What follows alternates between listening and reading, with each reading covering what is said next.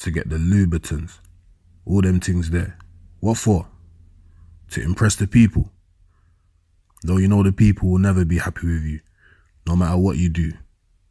You give people what they want, and then they want more. And when you can't give them more, they disregard you and throw you straight in the bin.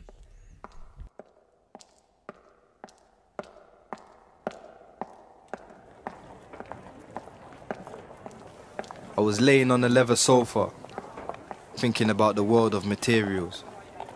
Fine cloth we wear or dine off, grands of paper materials, spent on designer brands and leather belts with steel buckle logos so trousers, skirts or denim jeans don't slide off.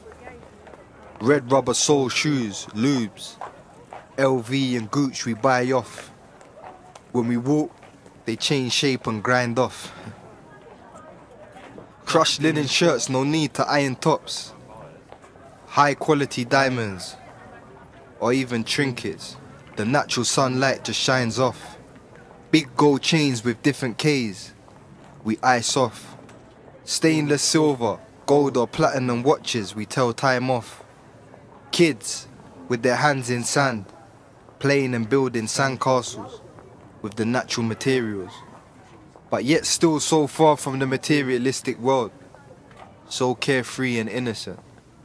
I was on the phone to my brother, he was like, Bro, why you not married? I was like, This is a serious step. I want a serious wife. I don't want a material girl. And it's so hard to find good cloth in such a material world. Skin, flesh, bones, all natural materials. But what cloth are we cut from? That depends on our goals, and that depends on our souls. Paper money got our ladies stripping on poles, big stiletto heels tipping on toes, ticking it slow. That life's wicked, she knows, but the paper money comes fast and it's gripping her soul. And who's got time for slow though? He ain't.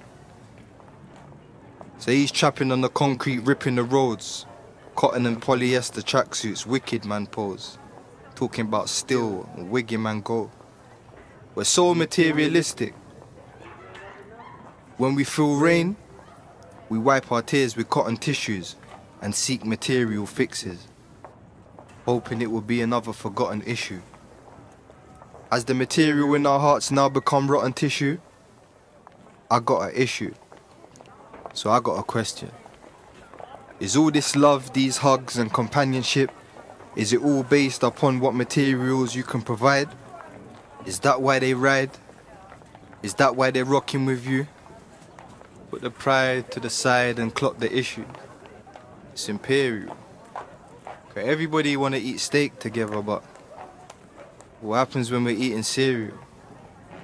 Are you empty and seeking fulfillment?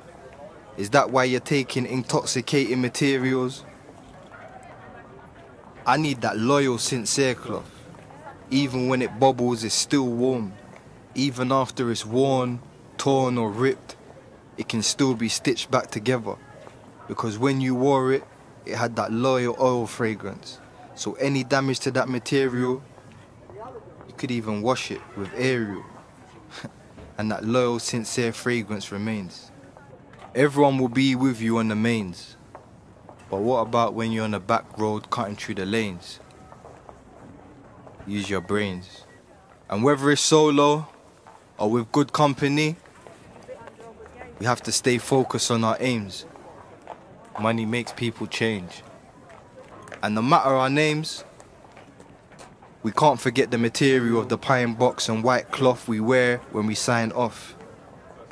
And the steel shovels and natural earth materials to cover us. It don't matter if in the world we got the big fur coat to smother us, and a big truck with petrol or diesel oil, and a big burner to recoil, and a whip whipping in the kitchen with the water that's pre-boiled. However we choose to live, every soul shall taste death. We're all gonna see soil.